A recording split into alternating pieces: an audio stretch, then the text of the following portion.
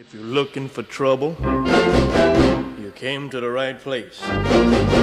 If you're looking for trouble,